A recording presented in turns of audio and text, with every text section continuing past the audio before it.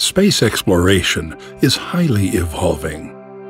Nowadays, research and development for it have become a priority that needs to be developed. Indonesia, through LAPAN, National Institute of Aeronautics and Space, takes part in space exploration by planning to build a spaceport in Biak. Biak's strategic position, which is only one degree from the equator, is considered to have many advantages. Close proximity to the equator is an energy saver due to the Earth's rotation near the equator, which helps to speed up the launch time and save more fuel. The site location at Biak is placed directly toward the Pacific Ocean to provide a variety of conveniences, especially in access and transportation. The spaceport will be built on 500 hectares area and will include facilities such as main building as an office and administration,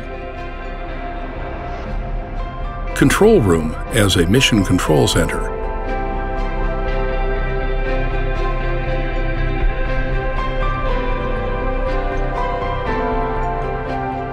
the integration room, which is equipped with cranes, rails, launchers, as well as rocket carriers to be used as a place to integrate the rocket and its payload.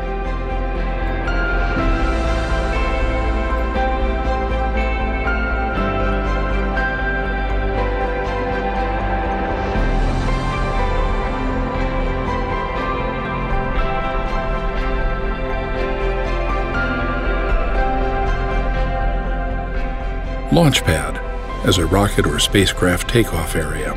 The spaceport is intended as a place to launch a satellite launch vehicle or satellite orbiter rocket, or it can be used as a rocket launch site for atmospheric research.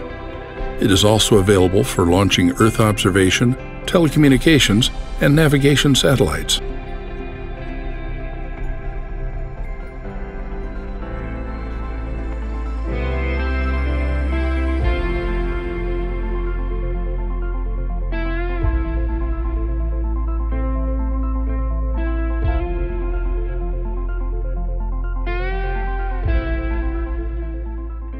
Biak Spaceport is targeted to launch satellite orbiting rocket technology into low orbit starting in 2036 to 2040.